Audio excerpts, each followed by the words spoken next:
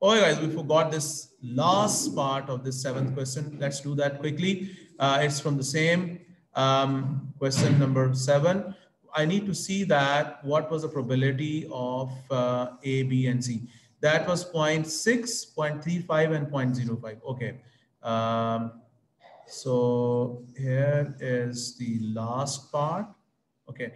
It says that a random sample of n of mobile phones sold is chosen. Okay, no problem.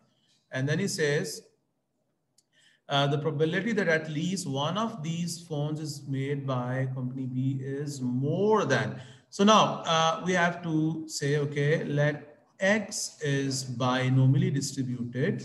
Now this N is not known, but he's talking about uh, the company B, Anna.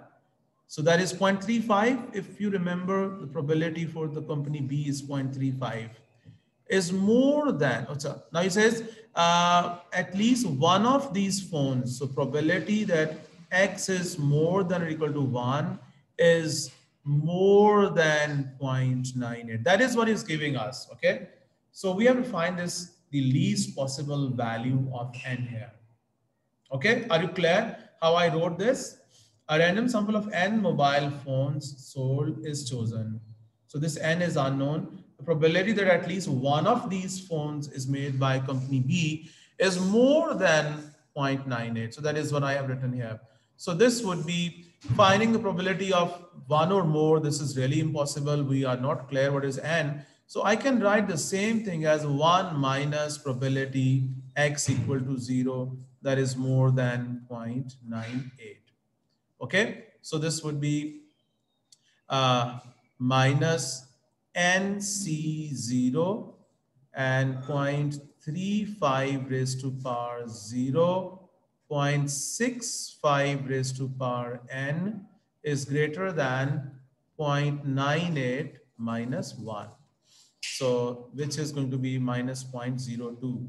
So we are left with minus 0.65 raised to power n is greater than minus 0.02. So you cancel the uh, these minus signs. Don't do that cancellation because you have to reverse the sign of inequality as well.